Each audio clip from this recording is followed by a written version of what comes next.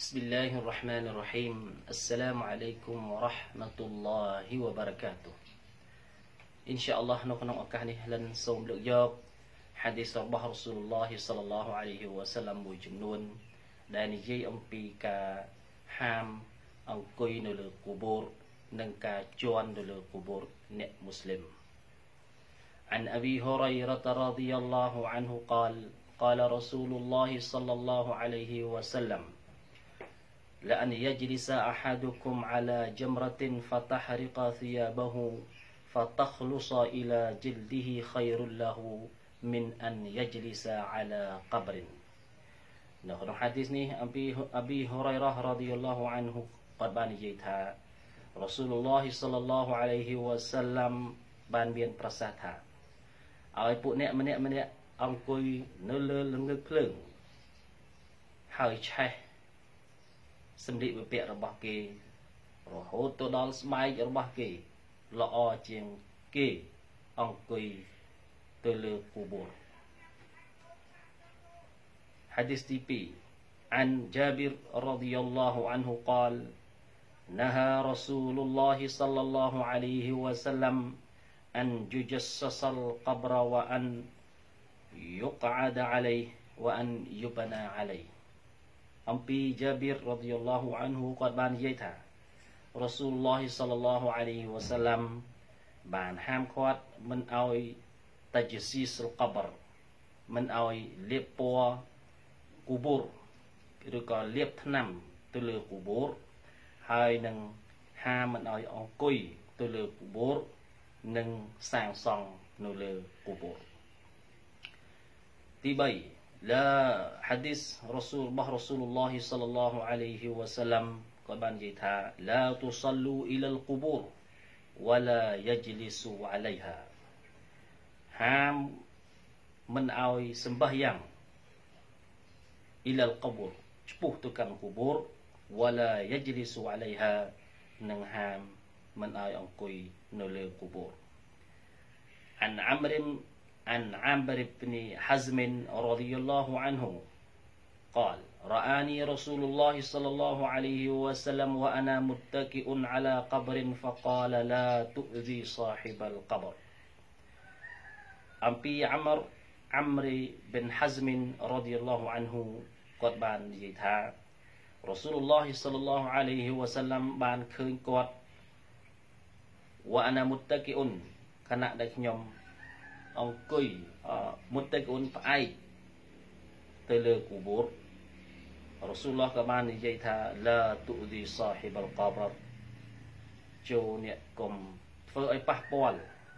រំខានទៅដល់អាហ្លីគូបូរនៅក្នុងអាសារអំពី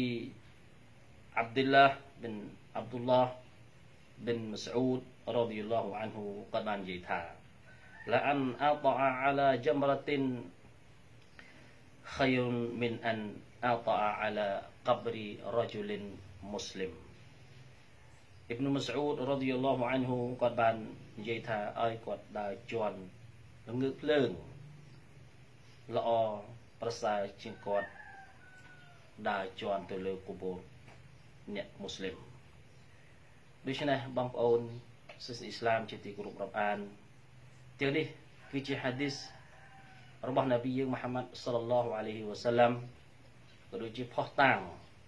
បញ្ជាក់អំពីការហារ៉ាំនិងឌូសាទៅចំពោះអ្នកដែលអង្គុយនៅលើគូបូរក៏ដូចជាដើរជន់ទៅលើគូបូរដោយសារយើងដឹងហើយថាអ្នកមូស្លីមគូបូរអ្នកមូស្លីមយើងត្រូវគោរពអ៊ីហ្ទីរ៉មនិងមូលាឲ្យតម្លៃដល់កិត្តិយសទៅចំពោះគាត់ ទាំងការទាំងកាលដែលគាត់នៅរស់ហើយបន្ទាប់ពីគាត់ស្លាប់ អ្នកមូស្លីមត្រូវគេគោរពនិងឲ្យតម្លៃមិនត្រូវមើលងាយតាមរយៈប្រការណាមួយឡើយដូច្នេះហើយទាំងនេះគឺជាហាឌីសរបស់នប៊ីមូហាម៉ាត់សល្លឡោះអាឡៃហ៊ីវសាឡាំដែលបានដាក់បំរាមឬក៏គំរាមយ៉ាងធ្ងន់ធ្ងរទៅចំពោះអ្នកដែលអង្គុយនៅលើគូបូរឬក៏ដើរជន់គូបូរអ្នកមូស្លីម ក៏ប៉ុន្តែនៅក្នុងករណីដែលចាំបាច់នៅលើការដើរកាត់គូបូរឬក៏ដើរលើគូបូរនោះមានអ៊ុលម៉ាមួយចំនួនគាត់បានហ្វាត់វ៉ាថាយើងអាចដើរបានក្នុងករណីដែលចាំបាច់ដូចជាការសែងមយិតទៅដល់កន្លែងដាក់មយិតมันអាចទៅរួចលើកលែងទៅដើរកាត់គូបូរឬក៏ដើរជន់គូបូរណាទាំងនេះគឺត្រូវគេអនុញ្ញាត ក្នុងករណីចាំបាច់ឬក៏យើងទៅស៊ីរ៉ាគូបូរផ្សេងមួយទៀតដែលมันអាចទៅដល់លើកលែងតែការឆ្លងកាត់គូបូរផ្សេងផ្សេងទៀតគឺក្នុងករណីនេះត្រូវបានគេអនុញ្ញាតបើមិនដូច្នោះទេយើងត្រូវមានការអឺ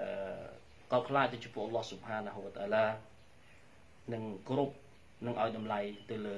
អាហ្លីគូបូររបស់យើងទាំងអស់អឺ យើងមិនត្រូវរំខានឬក៏ធ្វើឲ្យប៉ះពាល់ដល់អាហ្លីគូបូរឡើយហើយគូបូរអ្នកមូស្លីមត្រូវតែគោរពនិងអេះទីរ៉មនិងផ្ដល់កិត្តិយសរបស់ឲ្យពួកគាត់មិនថាឡើយពួកគាត់នៅរស់ឬក៏បន្ទាប់ពីពួកគាត់បានស្លាប់ទៅហើយ wallahu alam. Wa sallallahu wasallam ala nabiyyina Muhammad wa ala alihi wa sahbihi ajma'in. Assalamu alaikum warahmatullahi wabarakatuh.